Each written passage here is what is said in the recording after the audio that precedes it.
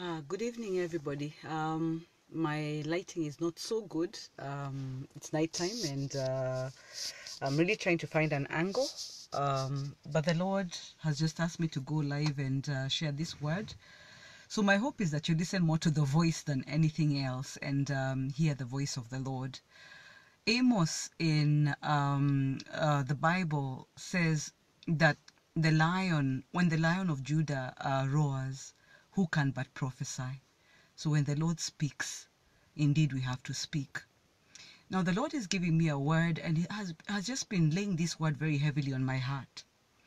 The danger with the false prophets that are emerging, who we were warned about, by the way, in the Word of God, is that it's a setup to make people very cynical about the true men and women of God. So their work, their purpose is really to cause people to be cynical. So that then, anytime you hear pastors or whatever it is, or ministers of the gospel, you are cynical about it and you fail to receive from the Lord. The Lord is warning that as a result of lacking discernment, when he sends his true servants and he says they will not look like what you expect them to look like. When he sends his true servants, because many are emerging from the cave, time prophets of God, true leaders and revivalists are being sent by the Lord. When we dishonor them as nations, the Lord is warning that judgment will come because of killing the prophets. Ignorance is no defense. Claiming that there was so and so is no defense. And so we must take the stand of uh, Gamaliel, the teacher, where we declare if this is of the Lord, let it thrive, let it grow, let it be amazing. But if this is not of the Lord, then let it die. And that becomes a true test. Quite a number of false prophets have truly emerged. Major, major movements that sadly a lot of people still cannot see what's wrong with them. People who are selling the blood of Jesus Christ, selling anointing oil, selling prayers, and things that are contrary to the Lord Jesus Christ and what he left us with. The trouble is we are too blind. We are also too lazy to read the word of God for ourselves and to enter the prayer closet and cultivate a culture where we know the Spirit of God and we're able to tell what is contrary. Well, the Lord is saying that when He sends the true prophets, when He sends His true servants, and if the people in your nation reject them, if the people in your city reject them, if the people in your family reject them, if you reject them, you will be found guilty of killing the prophets. You know what the Bible talks about when you kill the servant of God, when you kill the prophet. In the end times, the Lord is saying that, uh, you know, the killing of the prophets is not going to be, you know, stoning them and all that. It's just going to be shutting them down. It's going to be defaming them. It's going to be dishonoring them. It's going to be refusing to listen to the word and in that way discouraging men and women of God. Some time back, the Lord gave me a word for a nation I will not name. And I was delivering a word to a man who was at the time living in that nation, but he was not a member, he was not a citizen of that nation, and I knew that. And I told that man that God's gonna use you in this nation. The man said, No, I'm leaving this nation. And the man was so emphatic. And I said, No, listen, you're not listening to me. The Lord wants to use you in this nation. He said, No, I am leaving, and by this time I will have left. Typically, when you have a true man or woman of God, they will never really tell you what exactly happened. But you can hear the pain in the voice, and I shudder for such nations. If the Lord sends you to a city, or the Lord sorry i don't know why the broadcast was was was was was paused. But when the lord sends you to a nation when the lord sends you to a city typically one of the things the lord tells me is you know as i'm pressing in as i'm asking the lord to open the way as i'm asking the lord to raise up the believers in the land to receive what the lord has given me sometimes i reach the place where i shudder when the place is not opening. And i beg the lord and i say father do not let judgment fall because typically, when the Lord sends his true servants, when the Lord sends his true revivalists, when the Lord sends the true anointed ones of the Lord, it is God himself who is visiting you. Because that we are just bearers of the anointing and the glory of God. But when you fail to discern, when you fail to see, when you fall for the traps of the enemy of competition and funny, funny behaviors and all that kind of thing, and that move of God moves, what happens is what Jesus was saying. When he looked at Jerusalem and he said, Oh, Jerusalem, Jerusalem, may you not miss your time of visitation. What was he talking about? Because he was the truest and the greatest and the mightiest of all, for he is God himself and he was visiting Jerusalem, but they missed it. And what happened as a result? The Jews have continued, yes, to be blessed, but they have continued to miss out on the glory of God.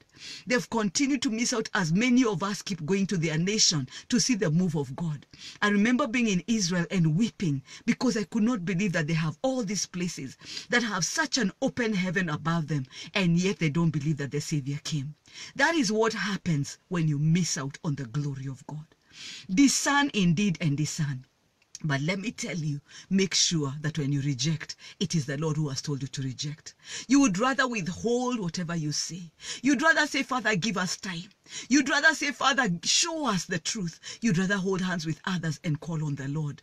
But what typically happens is that if you reject the true prophets of God, if you reject the true servants of God, if you reject the true strangers that visit you like Abraham was visited, but you reject them and fail to recognize that they are true strangers, if you reject the strangers that the Lord sent even to Lot, who turned out to be the angels of God, then you miss out on your visitation. And what happens is that judgment falls. Judgment falls upon you. The city of Sodom and Gomorrah missed out on the visitation. They even wanted to rape these servants of God that had come, who are the angels of God. They missed out. And we've all seen what happened. Everything perished. Animals, the people there, their, their, their livelihood, everything, including the land, was burnt to the ashes as hailstorms fell from above. I don't know if you know the story of Rwanda. But Rwanda in the 80s was the first one in the East African area to be visited by the glory of God. Two women fetching firewood, praying all the time, calling on God without knowing what they were praying about, being in the kitchen and lifting up of praise songs to the Lord. The Spirit of the Lord God fell upon them. And they ran out of the house because they were scared because of the glory of God. A lot of times we preach on revival, we talk about revival, and some people stumble on revival. But if you're not prepared for revival, you will not know how to receive revival. So revival came as the Spirit of God came upon these two dear women. They ran outside. And as fate would have it, or as life would have it, unfortunately, they the people that they met, they thought were the true servants of God. They met priests in a collar, Catholic priests, and they told them what had happened, and they depended on them to know. But even those priests did not know. So the priests went and got holy water, and they went to the to the house, and they exorcised the evil spirit. It was not an evil spirit; it was the spirit of the living God. In the spiritual realm, and I repeat this all the time: ignorance is not bliss. Ignorance is no defense. My people perish because of lack of knowledge, says the Lord. And because they reject knowledge, I have rejected them. May we never, ever, ever uh, assume that the Spirit of God is something else. May we never fall victim into evicting the Spirit of God because we all know what went on to happen in Rwanda. The worst of atrocities went on to happen in Rwanda. Ooh, sorry. The worst of atrocities went on to happen in Rwanda. That is what happens when we reject what has been sent to us. Every time that the Lord wants to release revival, we must understand that the Lord works as a double edged sword. That's how the Lord works. He wants to release revival, and it is a visitation. But if we fail to receive revival, what happens is that judgment falls upon a land. Whenever we reject the move of God, judgment falls upon a land. When I came back from USA, you may have noticed I was online, but then I reduced quite a bit of my being online. Why? I was grieving. I was grieving. My heart was grieving, and I didn't quite know why my heart was grieving. There was a part um, where my heart was grieving because the word of God was not fully accepted in some places, because God still wanted to do so much more in some places. But the competition, the, the people feeling threatened and everything, you know, pastors and everything, feeling threatened and not embracing the fact that we are one, feeling intimidated, not realizing that we are one. Nobody's trying to take the church from you. There are so many people out there who are not born born again, we are not trying to scramble for souls within the church. We are getting the souls that are within the darkness realm and bringing them into the kingdom of God. But then again, depending on how you start your ministry, you will be afraid. The guilty are afraid. But in the midst of all that, the sheep getting confused and everything, in some states, in some states, not in all states, but in some states, and in one particular state, which I will not name, it was very, very sad. And I came and I was grieving and grieving because I kept thinking, oh, if only you would realize, if only you'd realize. Jesus said, if only you would know to the Samaritan woman, if only you know who's asking you for a drink of water. And I'm not trying to say, oh, you know, um, whatever it is, or I'm not trying to lift myself up, but I do know who I am. I do know what I carry inside of myself. I do not know what the Lord, I do know what the Lord has sent me to release to the nations, to release to the cities. I have seen what happens with transformation when the word of God is received and when the message of the Lord is received. So I came back grieving. But as I grieved, there was something else. I knew I needed to forgive. I took time to take time and forgive. I took time to try and mend and reach out again. And those that did not accept, I too took time to weep and grieve what could have been, and yet we could not become. Hmm. Do I have sound, guys? I hope I have sound because I'm seeing one or two people saying they don't have sound. I hope I have sound. Father, just release that sound in the name of Jesus Christ. Release the sound, my King, in the name of Jesus Christ, my Father, that your word will not be stolen by the enemy in the name of Jesus Christ, our Lord and King. And, and and so as I came back, part of what I was grieving, and I didn't realize what I was grieving, was also the revival movement in Kenya that thank you so much Modoni for confirming. Thank you You know I was grieving and I didn't realize it until yesterday. As I was preaching last night in Glory um, uh, Center uh, International uh, the the Mulemas Church I was ministering last night and the glory of God came upon me. I was ministering about what revival is. The power of God came as a cloud. And as I was leaving that place I remember I went back to my seat and I lay down flat prostrate before the Lord. And I know I, I didn't want to know anything. And I was weeping before the Lord and I was saying, What is it, Holy Spirit? Why am I grieving? Why is my heart so heavy? And the Holy Spirit said, You have been distracted. You have been distracted. You see, in revival, there's a lot of distractions that Satan will use. If he cannot succeed to use demons because you're alert, he will use people. He will use vessels. However, we must remain as people who are focused. As a revivalist, you must be focused on the prize, and it is ushering in the glory of God. Because we know that if this glory of God is not released upon our nation, the Lord has chosen Kenya. The Lord has chosen different nations of the world. Every nation that I step in, and I'm not I'm not the only one. The Lord has chosen that nation in particular for revival. So if at all that nation does not receive that revival, oh, my brethren, we need to tremble and shake because judgment will surely come upon that nation. Judgment will surely come upon that nation. So the Lord has asked me to release this word tonight and to warn the nations. Warn the nations. When the Lord has identified you for revival, may you not miss it. May you not miss it because you are choosing to be confused because others have come before. Others have come before that are confusing people. May we not not miss it. May we not miss it. May we not miss it. May we not be like the, the, the, the apostles who are walking on that road and Jesus walked amongst them and they did not even realize it was him. And then they're asking him, Are you the only stranger in Jerusalem? And then they began to ask themselves, Is, you know, when they finally their eyes were opened, they started asking each other, Wasn't it like the, our hearts were burning when he was amongst us?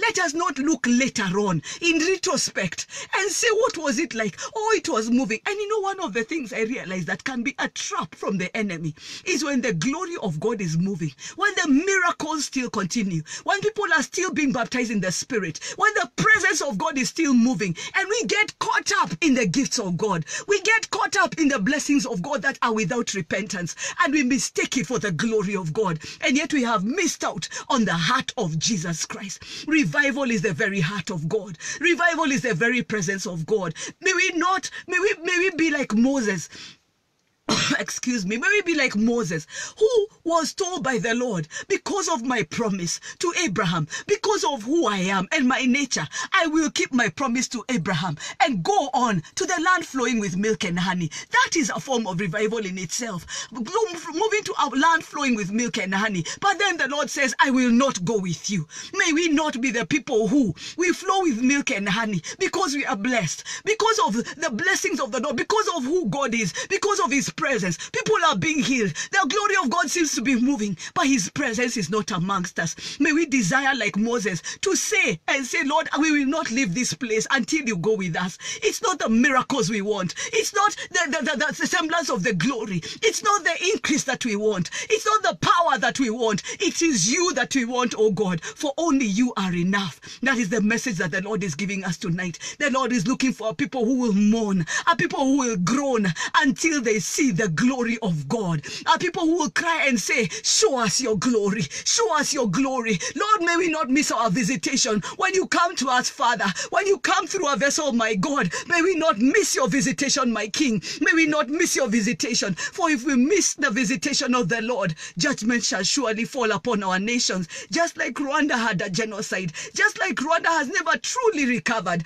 Right now, you know, they're in the process of saying, oh, you know, there are no tribes and everything. But Rwanda is just bubbling in the surface, and we need to pray for Rwanda. It's bubbling in the surface the resentment, the anger. Look at the shutdown of the churches. Over 20,000 churches have been shut down by their president. Is that not persecution? Is that not death? What does that mean to a nation? May some may somebody in Rwanda fall before the Lord and weep and say, Not again, not again, not again. For I see trouble brewing in Rwanda for killing the prophets of God, starting to decide that people cannot fast for long. Who is this human being who can dare tell the people that you cannot fast for long? How long is long? If the Lord calls a fast, who is a human being that can stop us from getting into that fast? Oh, I see judgment coming. May somebody in Rwanda weep before the Lord. May somebody in Rwanda see the warning of the Lord and call on the name of the Lord, even as the rest of Africa prays. You know, there has to be somebody in, who's a remnant in the land. And if you know them, please invite them to be able to know that they need to weep and call on the name of the Lord and pray, Father, in your judgment, remember mercy. In your judgment, remember mercy. Father, forgive us. The Lord is looking for some Abigails who are going to run ahead, realizing that their president is unable, who is there, you know, bringing judgment to the entire nation. Yet again, the enemy is using another different vessel. Previously, he used priests in collars. Now he's using a president. Now he's using leaders who are daring to shut down the church of Jesus Christ. Oh, may somebody weep for Rwanda.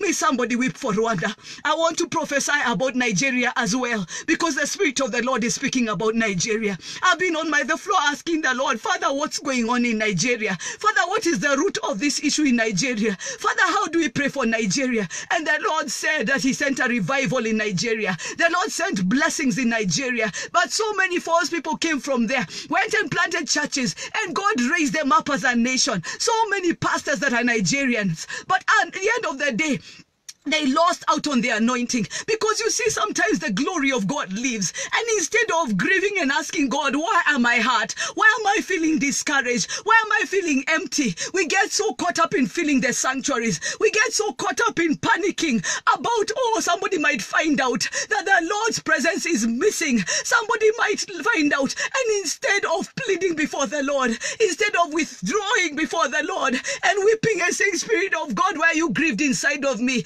We get caught up in the miracles. We get caught up in trying to pretend. We get caught up in trying to act up what revival looks like. And that's what has happened to a lot of the pastors that God has sent out from Nigeria. They have introduced witchcraft. They have introduced Illuminatism. They have introduced an end time, you know, deception, unfortunately. And unfortunately, what has happened is that the revival has lifted from their nation. And what has happened is that judgment has come. But the Lord is saying there's still a window of grace. There is, this is a shaking up of Nigeria. It's not judgment yet. It's a shaking up of Nigeria. And the Lord is asking, will you move away from performances? Will you move away from pride? Will you move away from deception? Will you move away from making church a business? Will you move away and withdraw and retreat and seek my face that I may fall upon you one more time? Just like the Lord was speaking to me yesterday as I fell down flat on the ground and I was weeping before the Lord. And this morning, by the way, when I woke up, I woke up with such joy. I woke up with such a lightness of spirit because the Spirit of God said, It's back, we are on track. It's back, we are on track. Sometimes we miss track, not in that we are sinning. Sometimes it's just that we get busy. Sometimes it's just that we get caught up in distractions. Sometimes it's that we get caught up in whatever it is that Satan will try and use. And oh my, Satan uses people. We will get caught up because of hurts. We will get caught up because of, you know, sin when it enters the church. We'll get caught up and you're walking in holiness, but still your eyes have come off from the agenda of revival because revival is about, by the way, you hold on to something and you know that you're in a race. I cannot faint. I cannot quit. I cannot rest. It's like a mother whose baby has already engaged. To engage is when the head of the baby is ready to come out and you can see. At that point, a mother cannot shut her legs and say, I want to breathe. A mother cannot say, I need to stop. A mother cannot say, it's time to eat. In revival and at place where we are at. It's a place of bathing. At the place of bathing, there is no rest. At the place of bathing, the rest can only come as we wait upon the Lord. In the place of bathing, there is no time for civilian matters. In the place of bathing, there is no time for sideshows. In the place of bathing, Jesus must be king. In the place of bathing, the Lord must define that agenda moment by moment, section by section, time by time. Oh, beloved, may we not miss our time of visitation. The Lord loves us so much. The Lord loves us so much. We have a window to prepare for the return of the Messiah. It's a window of the glory of God. It's a window of the presence of God. It's a time of revival. Let's forget the civilian matters. We are not citizens of this earth. We are soldiers of God. We are not civilians. Do not get caught up in civilian matters. Do not get caught up in earthly things. Do not get caught up in sideshows. Because when Satan realizes that demons do not work anymore, because you're able to recognize them and to deal with them, Satan will surely use human beings. Satan will surely use human beings. Satan will surely use circumstances. Satan will surely use all sorts of things, even sickness, distractions of every kind. Let us not get caught up in civilian matters. Let us not get caught up in civilian matters. It's time for revival, beloved. We have a window. We have a window. We have a window. Grace has been released And to all the nations. Grace has been released. If you will pray, the Lord will come in his glory. If you will pray, the Lord will come and he will bath his presence. If you will pray, the Lord will visit upon your nation. If you will pray, the Lord will release his revival everywhere.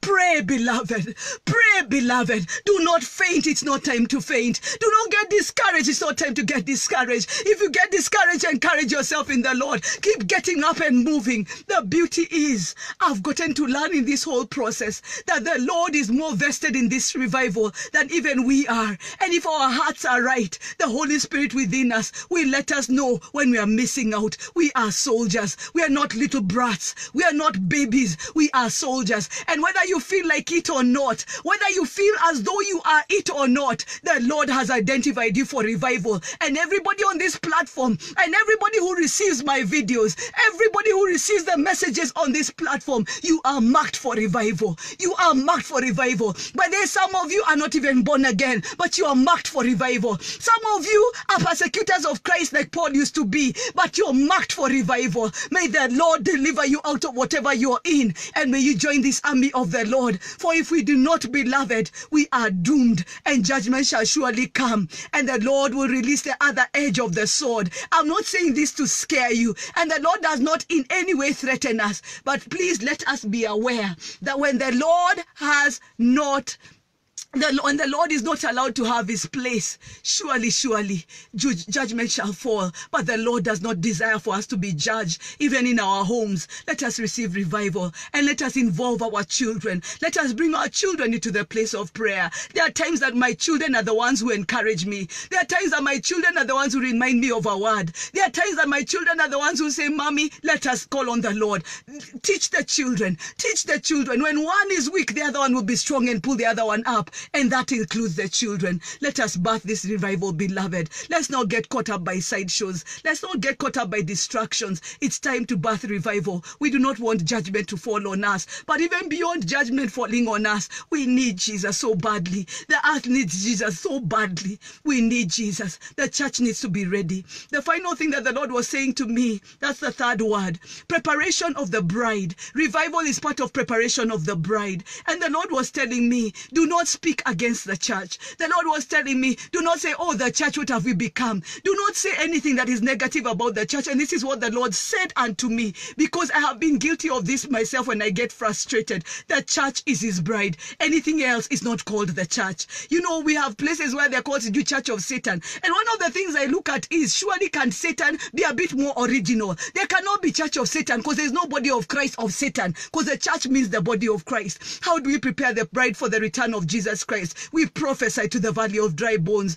We prophesy to the bride. We refuse that the bride will be fooled. We refuse that the bride will be deceived. We stand as gatekeepers, as watchmen upon the walls. And in every nation we are saying, no, no, no, no, no, to anything that is of darkness, to anything that is counterfeit. Trust me, by the way, even though you do not realize it, you have authority. You have authority. And for as long as you're receiving this video, as long as you're receiving this message, you are appointed for such a time as this. You are the Esther in your land. You are the Esther in your land. Some of you are the Mordecais at the gate. But if you are the Esther in the land, as the Lord is saying, then we have to declare because we are on the front line because the Esthers are on the front line. The Mordecais are in the back, back, background. But the Esthers are the ones that go forward. And we say, if we perish, let us perish. If we perish, let us perish. But we must show ourselves before the king and we must press in for the land because the time is now. It's not time to eat. It's not time to feast. It's time to call on the Lord. It's time to fast. It's time to pray. It's time to be counted and to stand up and be counted. We sang when we were children,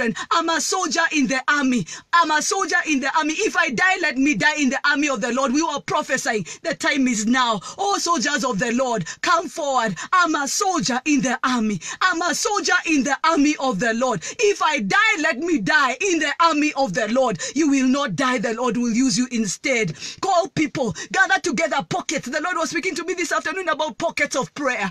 Pockets of prayer. Prayer pockets. Two, three. Stop discussing people. Stop, you know, and by the way, it's such a dangerous thing for you to be intercessors. You're with your prayer partner and you're discussing people because that is the person you agree with on spiritual matters. You have authority, but you're agreeing on destroying people and you're destroying the church of Jesus Christ. Let us cry to God for love. Let us cry to God for forgiveness. Let us cry to God to help us also to forgive others and for us, for our words to be laced with the grace of God and to be tampered with the salt of Jesus Christ, that we may be graceful, that we may learn when to keep quiet, that we may learn when to pray, that we may not curse the church of Jesus Christ with our own lips, because we are you being used by the enemy to curse the church of Jesus Christ, to curse the children of God, to curse those who the Lord has sent our way. May the Lord help us. Beloved, it's not easy, but the beauty is that we do not have to do it by ourselves. May you hear the call of God through this prophet of God. May you hear the call of God through this apostle of God.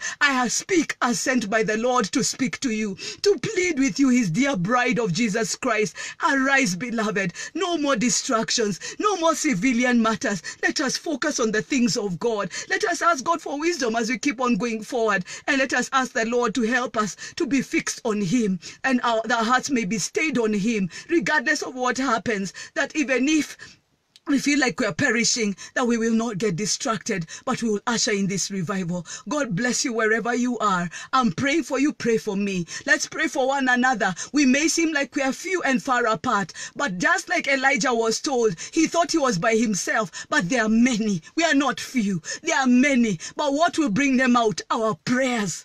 Our prayers will bring them out of the caves. Our prayers will bring them out of the fear. Our prayers will gather them together, and the Lord will join us one one to another, and the Lord will not allow us to faint. Let's continue to pray. Let's continue to call on the Lord. God bless you so much. I love you so much. Let's continue to pray. Let's continue to seek the Lord, and let's allow the Lord to use us. He's done so much for us. Let's lay our lives down for Him. He's done so much for us. Let's remember that. And when He asks us, when the Son of Man returns, will He find faith on the earth? Let's be the ones that say, Yes, Lord. Yes, Lord. For as long as I have breath on these lungs, He will, Lord. For as long as it's my season and my time, He will, Lord. For as long as I'm still living on this earth, He will, Lord. Father God, here I am, beaten down, but Father, I will call on you. Father God, here I am, wounded, but I will call on you. Father God, here I am. I don't fully understand, but I will call on you. Father God, I don't understand your ways, and in some things I feel maybe might be unfair, but God, I will call on you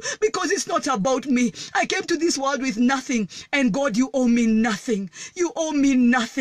So I will lay my life down, Lord God, like the woman with that alabaster box. I will minister to you, oh God. I will love on you, Jesus, until your glory comes, until your presence falls, until Jesus is seen and manifested through many. And when the Lord begins to manifest through people, we will not compete because that's what we've been praying for. We'll be saying, Thank you, Jesus, another one has manifested. Thank you, Jesus, another one has manifested. Thank you, Jesus, another one has been birthed. Glory be to the name of the Lord. It's time to unite, beloved, and it's time for us to take our positions. God bless you so much. God bless you so much from Nairobi, Kenya. That is the word of the Lord. Please share it wildly.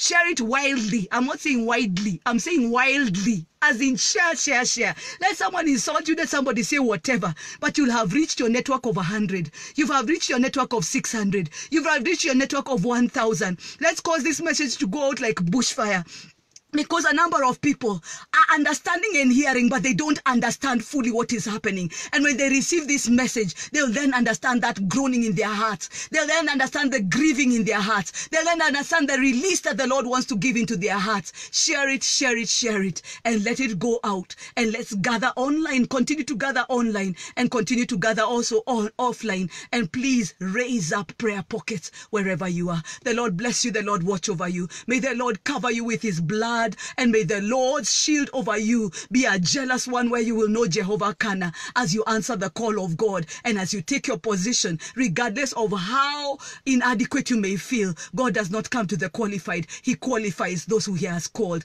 God bless you so much. Thank you for watching. Please share the video.